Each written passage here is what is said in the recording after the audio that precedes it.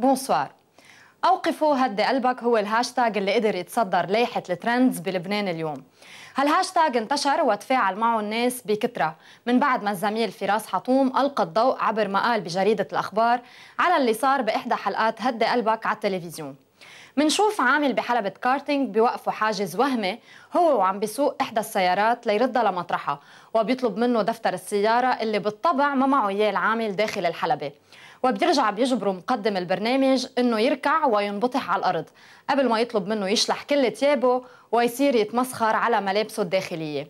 ما خلص الضرب أو شو ما بيتسمى هون. طلب منه يركض ويطالب بالحصول على الخبز. وأيضا طلب منه يقول عبارات لا أخلاقية بتدل إنه عم يشتغل بسعر رخيص.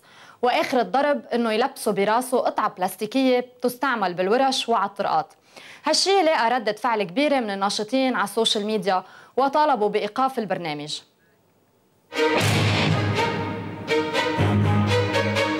وين دفتر السيارة؟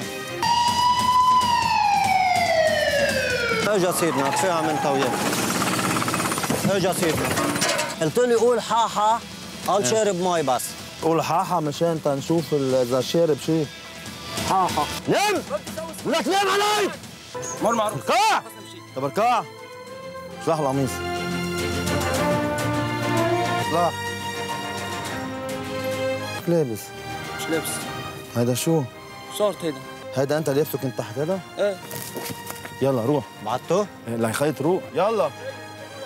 شو؟ اركض اركض يلا! مول اليافطة قول بدنا خبز. بدنا خبز. شو؟ بدنا خبز. مش عم نلاقي شغل. مش عم نلاقي شغل.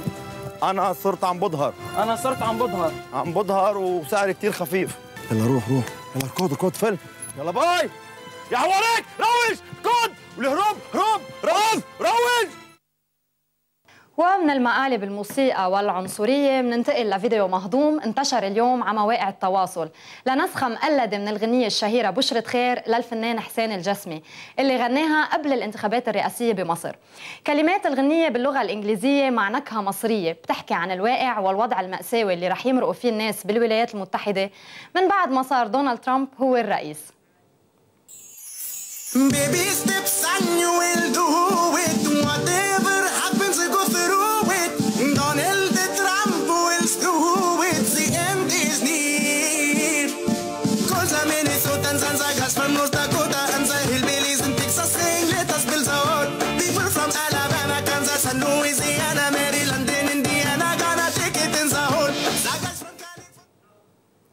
والخبر الأخير من جوجل اللي احتفل اليوم بذكرى ميلاد كريمة عبود.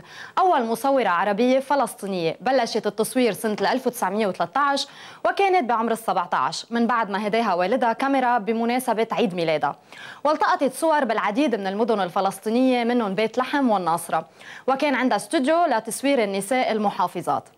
لهون بنكون وصلنا لنهاية أخبارنا. اللي فيكم ترجعوا تتابعون على صفحة ترندز على فيسبوك وفيكم تتابعوني على الحسابات اللي عم تمرق بأسفل الشاشة. أخبار جداد من مواقع التواصل الاجتماعي معي بنشرة بكرة.